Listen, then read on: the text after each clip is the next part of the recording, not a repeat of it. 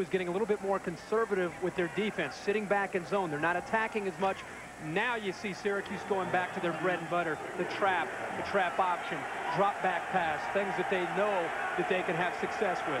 Good job of balance within this offense here in the last few drives.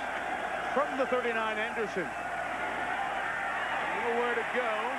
And brought down. A couple of times tonight he's been brought down. Jeff Cowart, who had three sacks last year.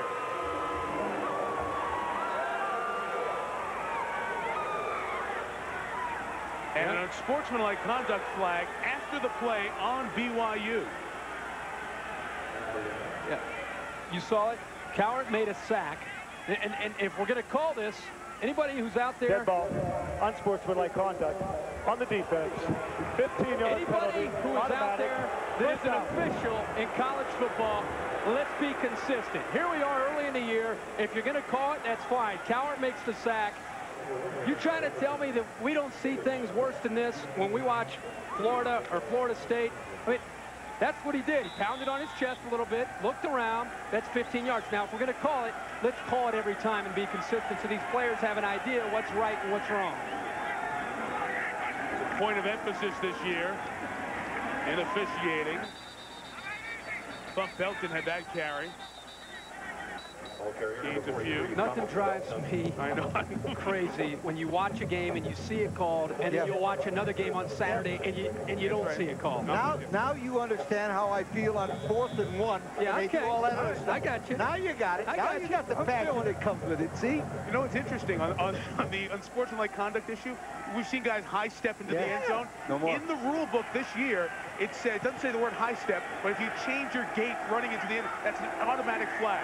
They've tried to be more specific about it. We're taking away everything, aren't we? All right, Anderson rides robots the ball, pretty soon. loads up, late over the middle, nearly intercepted.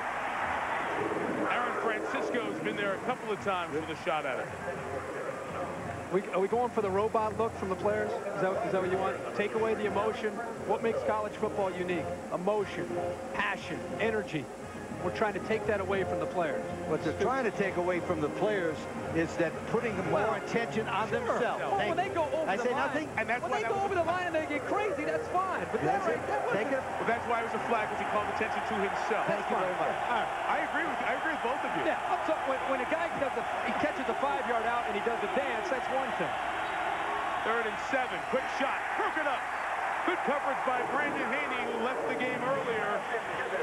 Bothered by his shoulder, so BYU's defense doing what it couldn't do last year. Yeah. Standing up in a spot where momentum was going against them. Now Cowart can uh, enjoy a laugh over it. athletically. Coverage, he's been giving the cushion all night. This time he gives the cushion to Christensen. Missed the tackle, touchdown BYU, and they have been attacking Oliver all night, Lee. Well, the problem they have right now is that they're trying to do is open field tackles, and they're not breaking down. What you got to do to make an open field tackle is not lunge at the guy and hit him hard, just kind of grab him and pull him down with you. That's why they're missing the tackles, Kirk. They're being too aggressive in the open field. And Bret Engemann has led some fabulous scoring drives mm. tonight. 71, 80, 99, 92, and this seven team is leading. Syracuse has not made many in key spots. Three of 11 tonight. BYU has been fabulous. 11 of 16, Wow. eight yards. Know, it didn't matter the distance, and those have been momentum-changing plays and kept these big drives alive. Intercepted! He threw it right to the defensive lineman. And Jeff Cowart comes up with the INT. Just don't dance, Big Jeff. Just don't dance.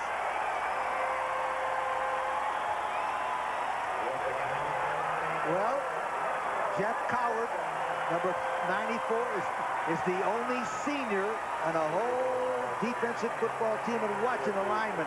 Watch him. As he goes back, he spells the screen, and he just kind of drifts over. Now, if I'm not mistaken, watch him come in there now. And he reads the screen right there. He doesn't follow because there's a bad block by the tackle, and it just reaches up makes a great catch.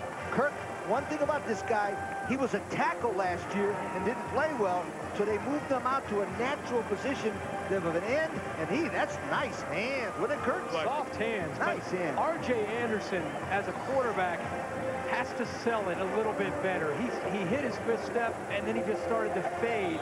And I think by fading, he tipped his hand and showed that it was going to be a screen. And that, instead Yeah. of Cowart chasing him, he right away, he got his head on a swivel, and he looked up the back, and he found it, hit the back, made a nice catch. Now BYU's looking to cash in again. Knockout punch time. Engemann wants it. Looks for it. Incomplete. A lot of holding down there with Spencer Nead. Uh, BYU fans who were looking for a flag had it right there. Cowart, who made the INT, former walk-on, started as a tight end when he uh, came here. So it's the hands and that look of a run there. Yeah. Wasn't he the same guy that got that individual Yeah, penalty by I putting his breast? that's why I Remember? said don't dance. Yeah, Don't that's, dance. That, that got was a good point. Remember that red hair? That's how I remembered him going over the sideline. Red hair. Those the red- number. Those redheads. Get the number. Whalen. Back in zone.